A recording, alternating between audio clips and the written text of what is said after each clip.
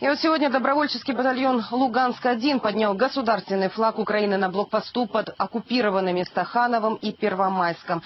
И вот э, у нас гость, народный депутат Олег Ляшко, который буквально пару часов назад э, еще был там, в Луганском регионе. Поделитесь с нами э, вашими новостями, что вы там видели. По Сєвєродонецьку можу підтвердити, ми були і вчора, там і сьогодні. Місто повністю контрольоване українською владою.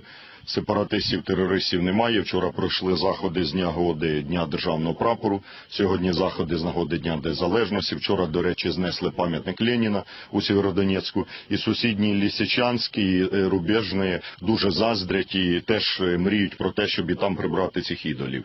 Е, Батальйон Луганськ-1 сьогодні ми були разом під е, Первомайськом, Стахановим. Там ідуть навіть сьогодні, в День Незалежності, в це свято йдуть бої. Терористи обстрілюють наші позиції, наші відповідно відповідають.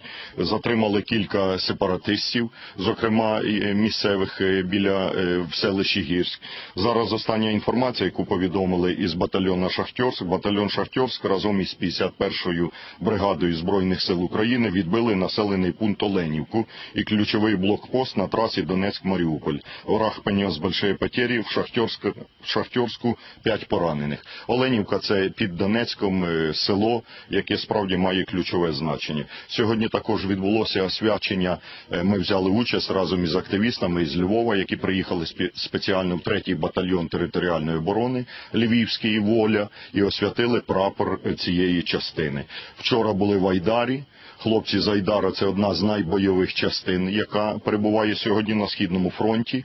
На превеликий жаль, у них є і поранені, і загиблі. Буквально е, завтра ховатимуть е, одного із загиблих в Айдарі. Е, поховали Олега Міхнюка, командира 8-ї афганської сотні майдану. Але я їм скажу так, що настрій усіх бойовий, настрій усіх, е, ну е, знаєте, для людей зустрічати свято на передовій День Незалежності. Реально розуміють, що це День Незалежності, за який треба боротися. А вы не жалеете, что сегодня все-таки народный депутат, вы не были в Киеве, вы не видели парад? А я вважаю, що моє місце на сході.